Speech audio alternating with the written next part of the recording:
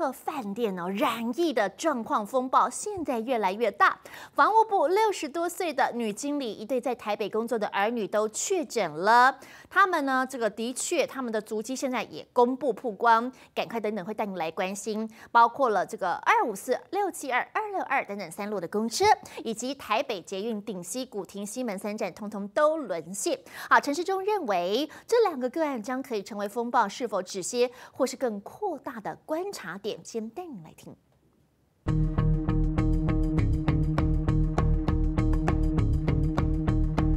诺富特风暴越演越烈，饭店群聚酿成家庭成员也染疫。二号指挥中心公布，房屋女经理的先生和一双儿女也确诊，相关足迹一一被公布。按一一三四，房屋女经理的儿子四月二十七号曾搭乘二五四公车到 Seven Eleven 金富门市领钱，光复北路上的印度餐厅用餐，之后还搭乘六七二公车。二十八号、二十九号接连两天则搭乘二六二公车往返住家及公司。按一一三六，房屋女经理的女儿四月二十六号到二十八号搭乘。捷运从顶溪到古亭，再到西门站，接着转乘公车到三重仙色宫。其中二十六号这天还曾到永和宝平路上一家餐厅用餐，两人足迹几乎遍布双北市。至于呢，在捷运站呢，或那种可能性会碰到的，那请大家对自己的健康哈要稍微注意。那有症状哈就要来做通报。新增案例搭过捷运新芦线、板南线、松山线公车二五四、二六二、六七二路线，标准搭乘大众运输通勤。指挥中心似乎还是掉以轻。心，甚至有些足迹选择性不公布。我们要公告的足迹是在可传染期了，就是人都已经都完全都可以掌握了，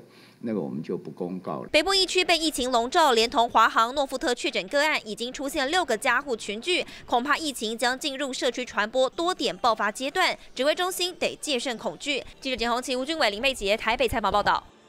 好，不过这回华航多位的机师接连确诊，诺富特群聚一起也延烧。双北市长呢质疑在指挥中心在防疫旅馆有非常严重的疏忽，而且机师接种疫苗的顺序也犯了战略的错误。好，面对了新北市长侯友谊跟台北市长柯文哲都双重的质疑，陈时中很强硬的做出了回击。CDC 在。看到这样一个染疫情形，没有快速的去处理防疫旅馆的问题，造成严重的疏忽。诺福特群聚延烧，新北市长侯友谊点名指挥中心犯了严重错误。这样一个严重的疏忽跟漏洞，其实我们要细心的、好好的去检讨，已经造成民众的恐慌。即时染疫防疫通报慢半拍，台北市长柯文哲剑指卫副部长陈时中质疑疫苗施打战略出现防疫破口。我们当时在决定这个打疫苗的顺序有一个战术上的错误，我们把那个防疫专责医院列为第一第一线要打疫苗，其实现在重来看一遍哦。应该应当是机组人员要第一线，因为他是在战线的外面，不是在战线里面。就怕疫情延烧，双北市长难得统一炮口，面对质疑，陈时中强硬回击：做的好不好，我们都可以接受大家的公平哈，但是讲严重疏忽哈，这我要郑重否认哈。指挥中心绝对不要高高在上，而是应该借用地方的第一线的优势跟第一线的经验。技师都接种过疫苗以后，就不会成为防疫的破口啦。错。不在机师，也不在防疫旅馆，错在指挥中心没有重视我们国家这一批的贸易尖兵，没给他们优先疫苗覆盖。为了防疫，亡羊补牢，双北首长同一战线，主导防疫政策的大家长却自有坚持。至于对错，恐怕所有结果都只能全民买单。就综合报道。好，的确，这回来看到的是呢，原本防疫旅馆员工染疫的事件延烧到大学的校园里头了。原来包含了文化大学、景文科大都有学生到过诺富特饭店打工实习，更有观光科的科系学生先去了参访，而且连清大都有学生跟确诊个案来做接触。目前三所大学都加强校园消毒，涉及的学生也都推出了一人一室，尽量跟其他学生来做区隔。教室、走廊、学生餐厅，边边角角都不放过。如此大动作，正因为文化大学一名女大生曾到桃园诺富特饭店打工，被框列隔离，全校紧急消毒。是有一点紧张，因为就发生在身边，很近啊。是不是可能最近是不是疫情又要再来了？这名女大生曾在四月二十三号到二十五号到诺富特西餐部门打工，之后接到通知必须裁剪，框列隔离。在攻读的时间，她就是住在饭店的宿舍。对，所以那段时间他并没有回到学校。同寝的同学已经将他们在安置在我们的校外，有一人一室的这样子的一个居所。在警戒饭店打工，却仅列居家隔离未集中检疫，学生容易在外爬爬灶，难道不会酿成更大的社区感染吗？最后一次的上班日是四月二十五号，一到这个集中检疫所当天，他并没有。已经已经没有上班了哦，所以他后来是在昨天列到这个居家隔离里面。而景文科大也爆出九十二名师生要停课两周，因为上周二九十一名师生曾到诺富特参访，加上还有一名大四学生在该饭店打工。二十九号校方接获通知，要求自主健康管理到五月十二号停课两周。一位学生是在四月十七号，那曾经前往该饭店实习啊，那这个。学生已经列为居家隔离，也住入住集中检疫场。剩下在宿舍的同学，我们就以一人一间的方式来做一个健康事务管理。消防赶紧大动作消毒，诺富特饭店爆发群聚感染，影响甚巨。清大也紧急发出公告，近日有几名学生曾和确诊者接触，已经框列居家隔离，所有同学依然可以如常学习，唯有居家隔离者采线上教学。有这十二个居隔的人哦。会进行裁剪，阴性的几率会很高了。指挥中心信心满满，但恐怕没那么简单。诺富特群聚事件延烧，波及各大校园，社区风险也再添一层隐忧。记者综合报道。诺富特饭店群聚感染持续的扩大当中，现在更有饭店员工爆料说，因为没有真正落实分区分层，才会让疫情持续扩散。痛批饭店管理可以说是相当的松散。指挥中心也承认，因为不是专业的医院，动线规划当然会有问题存在。而因为按一二零还在插管中，因此目前疫调也难以进行下去。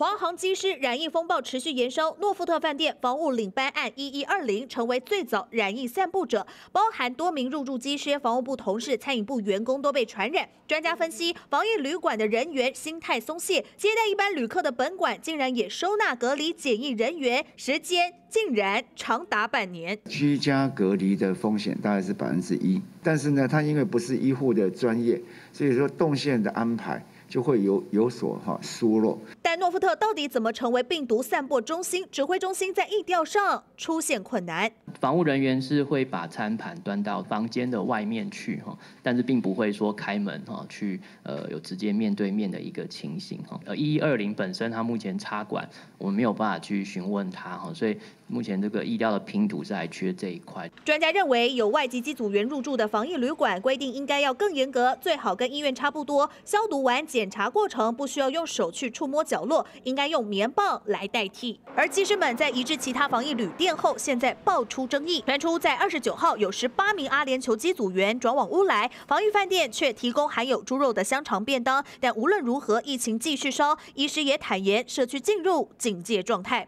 几个月前就发生感染。那既然感染又没有被发现呢，很可能他会把这个病毒散播到社区去。全为止哈，我想大概社区的警戒哈，至少要看到五月中。本土风暴如滚雪球般越滚越大，台湾防疫网络看似安全，但其实早已漏洞百出。记者综合报道。漏洞真的很多耶！诺富特饭店爆发了群聚感染，指挥中心紧急把一百零九位的隔离中的机师转送阳明山台营宿舍。不过，却有被隔离的机师投诉说，隔离所内环境非常脏、非常乱，到处都可以看到，就是呢蟑螂甚至老鼠屎，还有呢毛发跟污渍。好，集中营式的这作息跟管理，就像坐牢一样，非常夸张。家属一早提着大包小包物资要送给被隔离家人。原本住在诺富特饭店的机师被转送到阳明山台宿舍隔离，来到第四天送物资的家属比前几天来的少。之前曾隔离武汉包机台商的阳明山台一宿舍，被隔离的机师投诉环境脏乱，老鼠屎四散在各个角落，大大小小的碎屑污渍随处可见，更有一团沾满灰尘的毛发。令人头皮发麻的还不止这些，洗脸盆里除了有吸管套，更有蟑螂大便，床垫布满一块块黄色污垢，枕头上也有蚊虫尸体。投诉的华航机师怒批检疫宿舍不仅设备简陋，明明说有消毒，却处处可见老鼠屎，还有毛发。还有机师抱怨，除了不能叫外送，家人送物。资来也不能送延长线、刮胡刀、指甲剪等尖锐物，更不能抽烟喝酒，让他们直呼根本是监狱官人犯。虽然没有预习到说会有这么大一批人。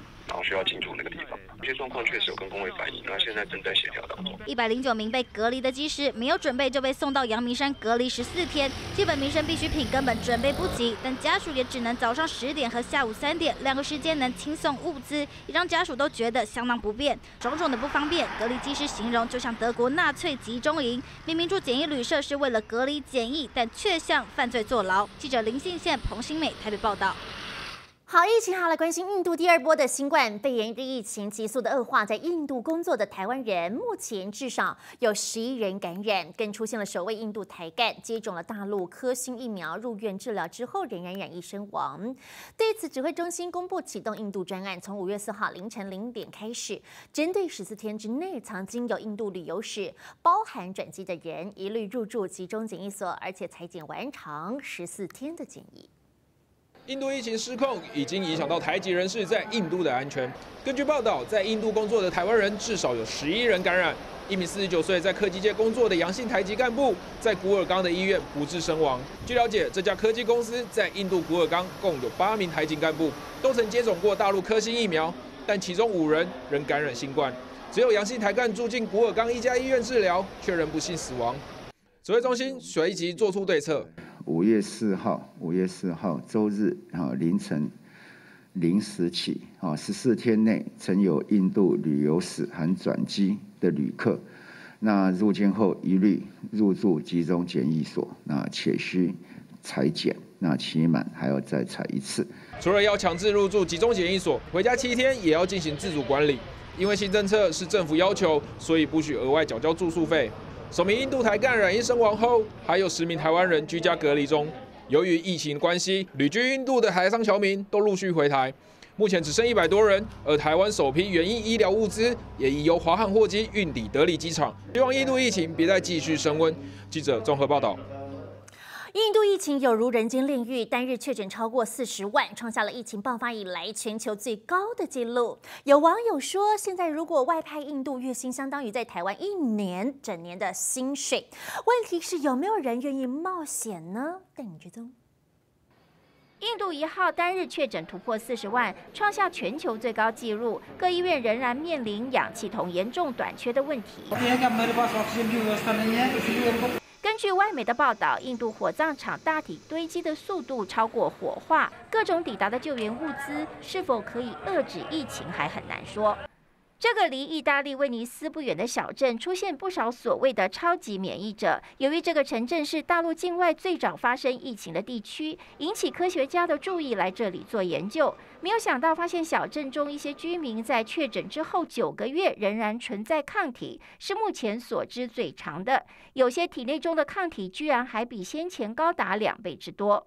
为了能够尽快重启经济，英国政府特别支持一个大型舞会作为完全解封的测试。参加者必须在二十四小时之内提出阴性检测证明。大约有三千名年轻人与会，简直是嗨翻了天。We're just excited. All of us are excited. We're all on the verge of tears, ready to go in. 英国准备在六月初完全开放，因此需要大型群聚的资料作为参考。记者综合报道。